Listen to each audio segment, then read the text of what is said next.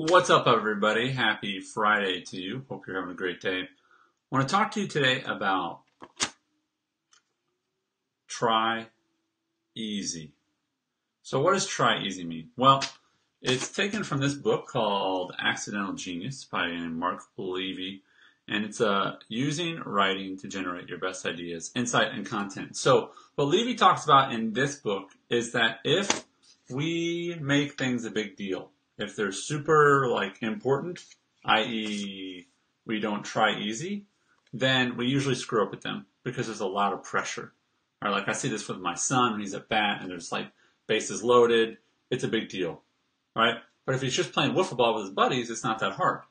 So one of the ways that Levy teaches all of us to make better stuff is to try easy.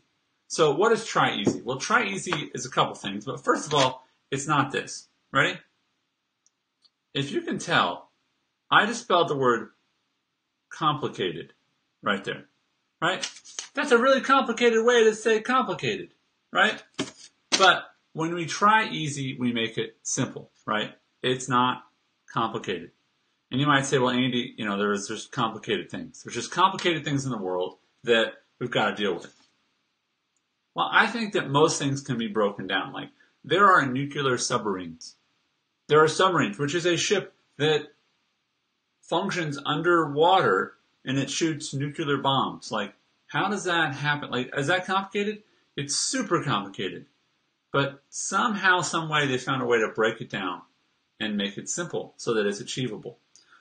And that's the great thing about try easy, because when things are easy, they are achievable right? So if you say, you know, Andy, I want to, you know, spend more time with my kids. I want to make money online. I want to control my hours, whatever it might be. You want to achieve something. You want to lose weight. You want to get smarter, whatever it might be. Well, if it's easy, if I say, well, what if it's easy? And you go, then I can do that, right? Because easy is achievable. So here are three things you can do to make easy achievable. And this will help you go from your current version, which maybe you haven't made anything yet, to making something, right?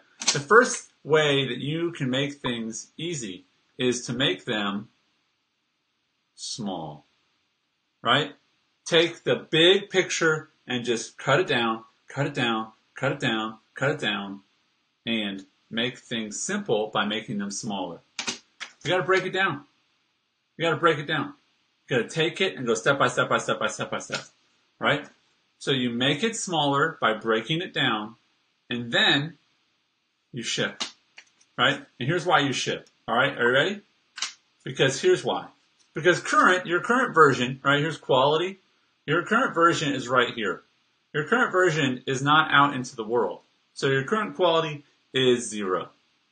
Version 1.0 will be 100% better than your current version because your current version is not out there.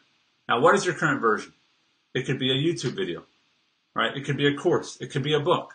But the point is, until you make it, you get a big fat zero. But when you make it, it's the best it's ever going to be. Until you make the next one, and that one's the best it's ever going to be. Because we have to work in versions.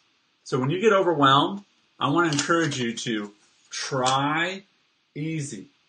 Make it easy, break it down, make it simple, and then ship. Put it out there. This morning I made a YouTube video on how to do something. Because enough people had asked me, I was like, this is not that complicated. It's a very simple, very simple thing about using Google Docs to make a table of contents and put it in your online course. It's simple. It took me 30 minutes. And it's part of a much more complicated thing, right? But I took a very complicated thing and I said, here's one little piece of it. So if you're frustrated you're not making progress, it's probably because you're trying to go too big. Make it simple. Try easy. What if it could just be easy? And things are easy when we make them small, right? Because we've breaking them down, broke them down, whatever that tense is, and then we have to ship. Please ship. Please make your great stuff. Please put it out there in the world. Hey, if this video has been encouragement to me, to you, to you, it's been encouragement to me, been encouragement to you, please share it with other people. And I want to know what you are working on. Try to make it easy. All right? Try easy. My name is Andy Traub from TakePermission.com. God bless. Keep shipping. The world needs your art. See ya.